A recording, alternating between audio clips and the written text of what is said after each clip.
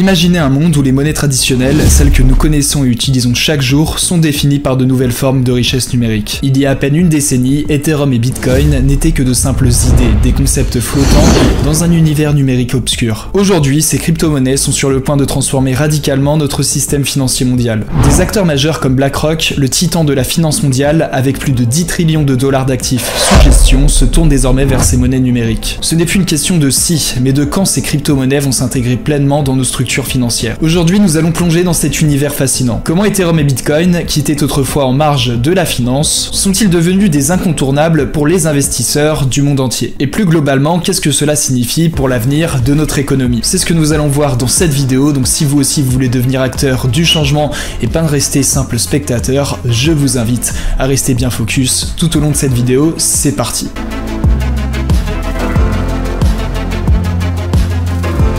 Ces dernières semaines, quelque chose d'extraordinaire s'est produit dans le monde de la crypto-monnaie. Le Bitcoin et l'Ethereum, les deux crypto-monnaies les plus connues de l'écosystème et les plus fortes en termes de capitalisation, ont vu leur prix grimper de manière spectaculaire. Mais donc pourquoi cet engouement soudain? Pour le comprendre, il faut se pencher sur le contexte économique global et l'intérêt croissant des grandes institutions financières pour la crypto-monnaie. Prenons BlackRock par exemple. C'est la plus grande société de gestion d'actifs au monde avec plus de 10 trillions de dollars sous gestion. Donc imaginez 10 trillions de dollars, c'est vraiment énorme, c'est même plus que le PIB de certains pays. Et donc en général, lorsque BlackRock décide de s'investir dans quelque chose, le monde financier y prête attention. Récemment, ils ont annoncé leur intention de lancer un ETF basé sur l'Ethereum. Et donc pour ceux qui ne sont pas familiers avec les ETF, c'est très simple, il faut les assimiler à des paniers d'investissement qui regroupent différents actifs comme des actions ou dans ce cas des crypto-monnaies. Et donc l'intérêt de BlackRock pour un ETF Ethereum est un signal fort que la crypto-monnaie n'est plus juste un engouement passager, mais qu'elle est en train de devenir une partie intégrante du paysage financier mondial. Et donc cette nouvelle a provoqué un grand enthousiasme sur le marché des crypto-monnaies, ce qui peut notamment expliquer la hausse globale de ces derniers temps. Mais au-delà de ça, cela marque une reconnaissance et une adoption accrue de la crypto-monnaie dans le monde de la finance traditionnelle.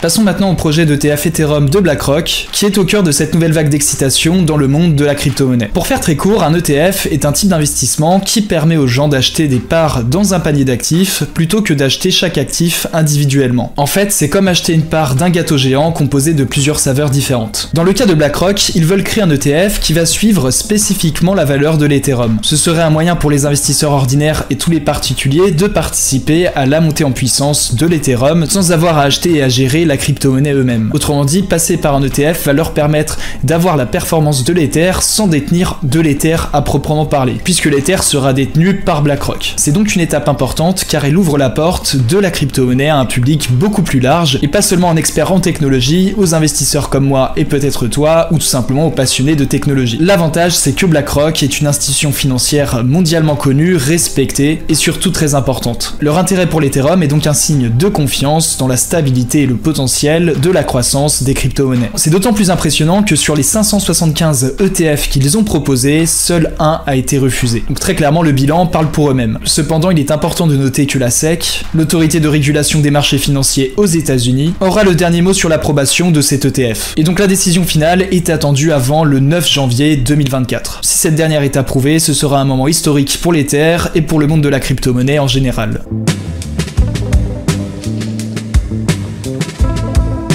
Explorons maintenant un peu plus la structure et le fonctionnement des ETF, car c'est essentiel pour comprendre l'impact du projet d'ETF Ethereum de BlackRock. Un ETF ou fonds indiciel est donc une collection d'actifs financiers qui peuvent être achetés ou vendus sur un marché financier, tout comme des actions individuelles. iShares, la filiale de BlackRock qui gérait l'ETF Ethereum, est un acteur majeur dans le monde des ETF. Parce que oui, ils offrent une gamme étendue de produits permettant aux investisseurs de diversifier facilement leur portefeuille sans avoir à acheter chaque actif individuellement. Par exemple, iShares gère des ETF qui suivent des indices boursiers comme le S&P 500 par exemple qui regroupe les 500 plus grosses entreprises américaines en termes de capitalisation boursière. Le S&P 500 par exemple est une collection d'actions américaines spécialisées dans le secteur de la technologie essentiellement, mais pas que, ce qui fait que les ETF représentent différents secteurs de l'économie. Ce qui rend les ETF attrayants, c'est avant tout leur simplicité. Vous achetez une part de l'ETF et vous obtenez instantanément une exposition à tous les actifs qu'il contient. C'est une façon efficace et moins risquée d'investir dans des secteurs ou des thèmes spécifiques. Dans le cas de l'ETF Ethereum de BlackRock, l'idée est de fournir une façon simple et réglementée pour les investisseurs d'avoir une part dans la valeur de l'Ethereum. Pour beaucoup, cela enlève la complexité et les soucis liés à l'achat et à la gestion directe de crypto-monnaies, comme la nécessité par exemple de comprendre le fonctionnement des portefeuilles numériques, des wallets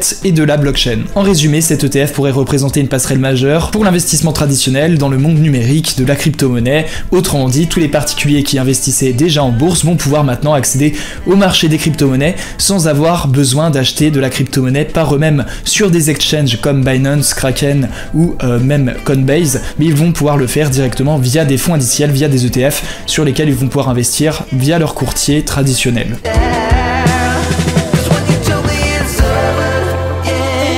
Le rôle du gardien des actifs dans un ETF est donc crucial. Et pour l'ETF Ethereum de BlackRock, ce sera le rôle de Coinbase, une plateforme de crypto-monnaie bien connue sur laquelle on peut acheter, échanger et vendre de la crypto-monnaie. En tant que gardien, Coinbase aura la responsabilité de sécuriser les actifs de l'ETF, en l'occurrence de l'ETF Ethereum. Mais que signifie exactement être un gardien dans le monde des crypto-monnaies? Assimiler Coinbase à une banque fortifiée pour l'Ethereum de l'ETF. Ils vont non seulement détenir les Ethers, mais aussi les protéger contre les cyberattaques, les fraudes et tout autre risque. Une partie de cette stratégie de protection implique la mise en place de comptes distincts pour séparer les fonds de l'ETF des autres actifs détenus par Coinbase. De plus, une bonne partie des Ethers seront stockés dans ce qu'on appelle le stockage à froid. Le stockage à froid est une technique de sécurisation des crypto-monnaies qui les garde hors ligne, loin de l'accès d'internet, et donc des pirates ou des hacks potentiels. Finalement, c'est comme mettre des bijoux de valeur dans un coffre-fort au lieu de les laisser sur la table du salon. Cependant, il y a un inconvénient à cette sécurité. Les investisseurs qui vont investir dans l'ETF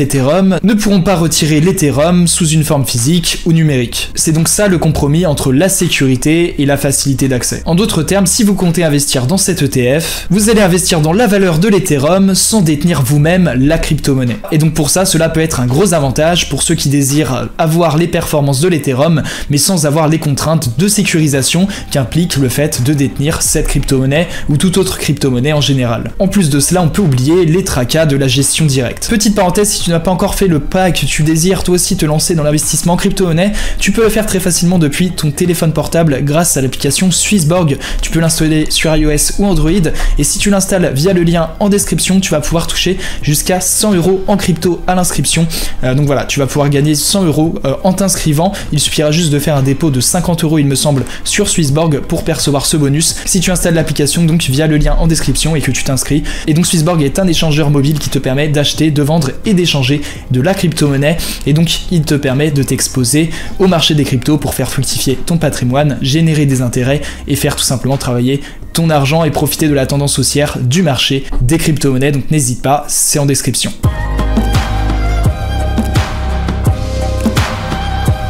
La valeur nette des actifs est un concept clé dans le monde des ETF. Elle représente la valeur totale de l'ETF divisée par le nombre de parts en circulation. Pour l'ETF Ethereum de BlackRock, la NAV sera calculée à la fois en prenant en compte l'Ethereum réel détenu par le fonds et les liquidités. C'est un peu comme évaluer la valeur d'une entreprise en regardant non seulement ses actifs physiques, mais aussi son argent en banque. Et donc pourquoi est-ce important finalement? Parce que la NAV donne aux investisseurs une idée claire de ce que vaut réellement leur part dans l'ETF. Elle permet de s'assurer que vous payez un prix juste pour les actifs que vous achetez. Dans le cas de l'ETF Ethereum, la NAV est particulièrement pertinente car elle reflète directement la valeur de l'Ethereum sur le marché. Si BlackRock achète de l'Ethereum pour le fond, cela pourrait théoriquement augmenter la demande pour l'Ethereum, influençant ainsi son prix sur le marché. Cela signifie que la NAV de l'ETF est directement liée à la performance de l'Ethereum. Et donc pour les investisseurs, ce sera une façon de mesurer la santé et la performance de leur investissement dans l'ETF. Cela permet également de comparer la performance de l'ETF à celle de l'Ethereum, donnant ainsi aux investisseurs une image claire de la façon dont l'ETF se comporte par rapport à l'actif sous-jacent qu'il est censé répliquer.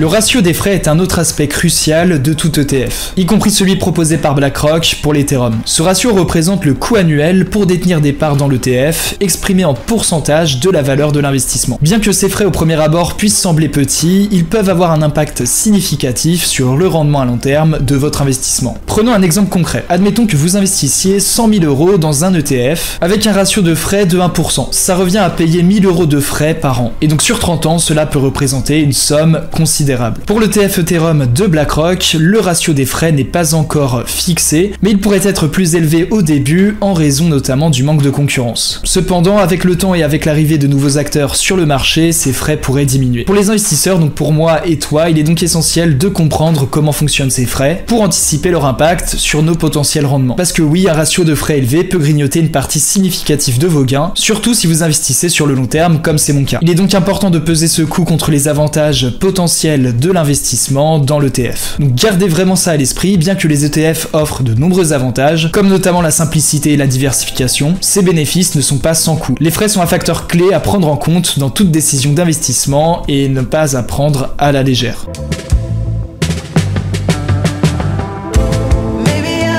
L'un des avantages majeurs de l'investissement dans un ETF par rapport à la détention directe de crypto-monnaies est le niveau de protection offert aux investisseurs. Dans le cas de l'effondrement du marché de la crypto-monnaie, de nombreux investisseurs se sont retrouvés en tant que créanciers non garantis en dernière ligne pour récupérer leurs investissements. En revanche, avec un ETF comme celui que propose BlackRock pour l'Ethereum, les investisseurs bénéficient d'une couche de protection supplémentaire. Les ETF sont réglementés et offrent des garanties que ne peuvent pas offrir les investissements directs en crypto-monnaie. Par exemple, en cas de faillite d'une plateforme d'échange, d'un exchange comme par exemple Binance, Coinbase, Kraken, peu importe, Swissborg, ou même d'un hack, les investisseurs dans l'ETF sont couverts et assurés jusqu'à 500 000 dollars par BlackRock. Plus précisément par un organe aux États-Unis qui s'appelle le SIPC. Cela signifie donc que même si l'entreprise derrière l'ETF fait faillite, votre investissement sera toujours en partie sécurisé jusqu'à une hauteur de 500 000 euros. C'est donc un avantage majeur et une considération importante à prendre en compte, surtout dans un écosystème aussi volatile que celui des crypto-monnaies. Vous offre donc une porte d'entrée plus sûre et plus réglementée dans l'investissement en crypto-monnaie, ce qui va justement favoriser des personnes potentiellement réticentes à la base d'investir dans ce type d'actifs à le faire, et y compris à tous ceux qui sont nouveaux ou pas trop familiers à cet écosystème, qui préféreraient peut-être une approche moins risquée. Donc encore une fois, attention, ne me faites pas dire ce que je n'ai pas dit, cela ne veut pas dire que l'ETF n'est pas sans risque. L'Ethereum, quand bien même soit-il la deuxième crypto-monnaie en termes de capitalisation, est une crypto-monnaie et par définition peut être très volatile. Cela veut dire que sa valeur peut fluctuer aussi bien à la hausse qu'à la baisse, et cela de manière très forte. Néanmoins, l'ETF offre une couche de protection supplémentaire, cette dernière étant en plus institutionnelle, cela pouvant être rassurant pour de nombreux investisseurs et pouvant les conduire à franchir le premier pas dans le monde de la crypto-monnaie.